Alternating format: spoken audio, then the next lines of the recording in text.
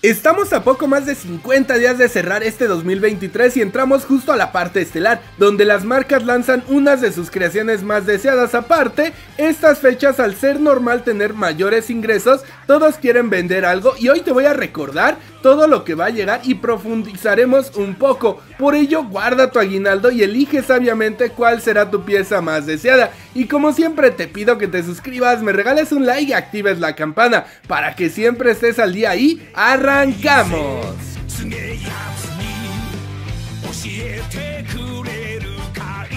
Beast Deities, el sucesor de Kang Studio, ya comenzó a enviar sus figuras de Goku Super Saiyan 5 versión AF o Spirit Killer, como lo conozcas, claro, disfrazado del hombre tigre, pero habrá tres versiones que serán la clásica número 27, que es el célebre Tablos en fase Spirit Killer. A mi gusto, esta será por mucho la más popular. La número 28, que es una variante con un poco más de esencia, con el mismo molde anterior, pero sus colores están padrísimos. Y el 29, que será el más limitado, simulando un Goku Black Super Saiyan 5. Bastante padre y seguramente a más de uno le va a encantar. Estos pronto los tendremos en este canal. A mi gusto, este será el lanzamiento estelar por parte de Kong Studio en todo el 2023.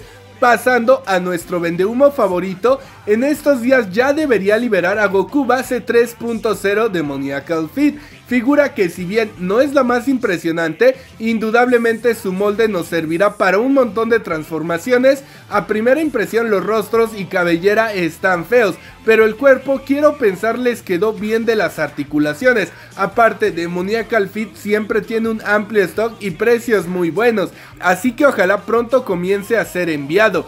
Entonces Toy cerrará el año fuerte, Pese a que su lanzamiento son los guantes de Vegeta, no olvidemos se espera en estos días el restock de las 4 cabelleras para Vegeta, las cuales fueron un completo éxito. Por si fuera poco, la marca mencionó que vendrían mejoradas, lo cual es increíble, ya que podrían simplemente relanzarlas y se venden, pero la marca le está poniendo amor a su producto. Respecto a los guantes, honestamente creo que va a pasar algo desapercibido, aún así se le reconoce a la marca la creatividad de ofrecer un producto nuevo. Lo de Thompson Arts ya debería ser liberado en máximo 30 días. DL Custom está silencioso y tranquilo, pero sus kits para Goku Black ya están por terminar de fabricarse y serán enviados próximamente. Recuerden que serán dos colores diferentes en dos tonos distintos, siendo un total de 4. DL Custom, si bien me encanta su trabajo, yo le tengo recelo a ellos por su jugada en las cabelleras de Gohan Super Hero, donde incluyó un rostro exclusivo para una tienda, lo cual no se lo perdonamos, pero a quien le guste este kit no debería tardar en ser liberado.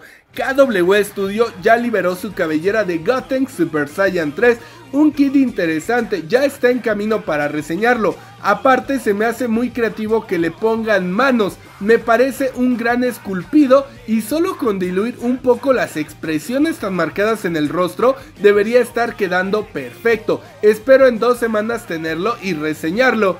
Recustom y Opening Song son dos marcas emergentes que están entrando con propuestas interesantes. Por un lado vemos cabellera de Trunks con un diseño poco convencional, por ahí dijeron que se parece a Yori de Cobb, la verdad es que sí, pero a mí me agrada y la que sí me encanta es la de Gohan Beast con el pelo en movimiento. Supuestamente tendrá un costo de 20 dólares cada uno aproximadamente, un precio bastante razonable respecto a otras marcas, aunque ojo, creo solo va a incluir un rostro. Por su lado, Recustom sus cabezas son espectaculares. Originalmente salió un tiraje de 500 piezas pero llamó tanto la atención que se mandó a producción masiva, así que en unos 20 días deberían estar siendo liberadas para su distribución. Su costo aproximado será de 40 dólares. Black Hill Toys viene bien silencioso, pero uno de sus socios me comentó habrá tres nuevas figuras y mucho ojo. Según él se basarán en estas tres piezas para sus nuevas figuras que serán Goku Warrior de evento. Esto es casi un hecho ya que el buen Juan Hawk ya nos había comentado hace tiempo de este proyecto pero agárrate con los otros dos lanzamientos que son Goku Super Saiyan 4 y nada más y nada menos que Vegeta Scouter. Aquí hago dos paréntesis. Número 1. Recuerda que esto es una suposición, pero quien me lo comparte es un socio de la marca. Y número 2, Black Hole Toys anteriormente era conocido como Clase Adventure y era socio de Demoniacal Fit. Sin embargo, por lo visto salieron de problemas. ¿Y por qué les digo esto? Porque si recuerdan hubo render de Goku Super Saiyan 4 y de Vegeta Scouter, así que ojo, es probable estos trabajos sean de clase Adventure, que actualmente es Black Hole Toys, y ellos están retomando esos proyectos, por lo cual a mi gusto toma fuerza la teoría de que sean lanzadas estas versiones. Lo que es un hecho es que Black Hole le ha metido mucho amor a sus piezas y sus figuras han sido muy buenas, por ello estoy ansioso de sus otras piezas y no dudo ni tantito vayan a querer vender algo especial a fin de año.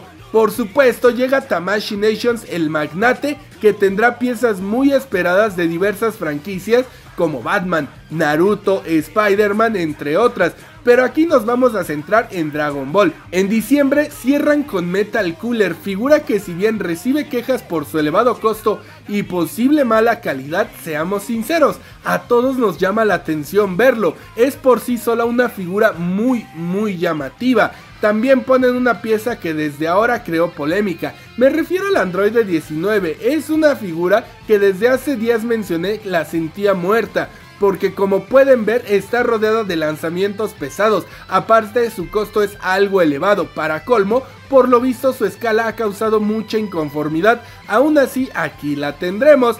También les recuerdo que del 16 al 19 de noviembre, Tamashi Nations hace un tipo evento en línea donde muestran prototipos o próximos lanzamientos. Quizá veamos nuevas figuras y den fecha de salida, quizá no sé, de King Cold o de las piezas de GT, asimismo de todas sus demás franquicias. Hagan de cuenta que es una pequeña Comic Con pero de puro Tamashi Nations. Como dato, en este evento el año pasado revelaron a Gohan Beast.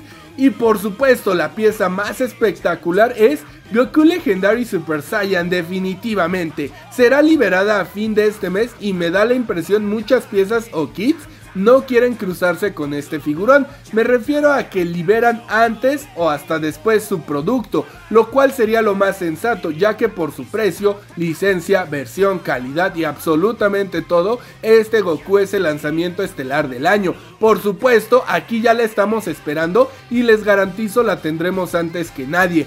Pero bueno hermanos, espero no haber omitido nada, creo hay muchísimas cosas interesantes, solo recuerda planear bien tus gastos y disfrutar todo lo que adquieres. Te agradezco mucho si llegaste hasta acá, pero hemos finalizado. Muchas gracias por vernos y hasta la próxima.